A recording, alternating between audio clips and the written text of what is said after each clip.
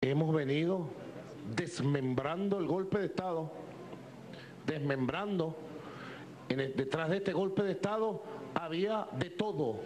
Yo les puedo decir, el próximo viernes, en horas de la mañana, el mayor general, ministro Rodríguez Torres, le va a presentar pendientes en horas del mediodía, les va a presentar al país y al mundo un informe completo de todos los logros que tenemos y las capturas que hemos hecho de todos los personajes que están detrás del golpe de Estado, uno por uno, las pruebas.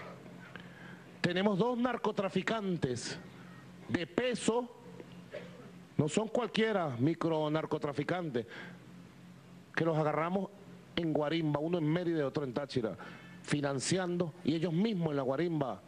¿Quién manda a esos narcotraficantes? Ustedes saben quién, el Paraco Mayorro. Tenemos un gringo, ya el viernes diremos quién es el gringo, que le capturamos armas, explosivos, dinero en San Cristóbal, dirigiendo él mismo personalmente a los grupos de choque de los guarimberos. Tenemos un terrorista que agarramos hace dos meses, de origen árabe. Y ustedes saben que ayer, hace dos madrugadas dije, antes de ayer, capturamos al que yo llamé el aviador. Es un aviador, pero no militar, un aviador civil. Ay Dios santo, como dicen por las calles, lo agarramos con los kilos yo.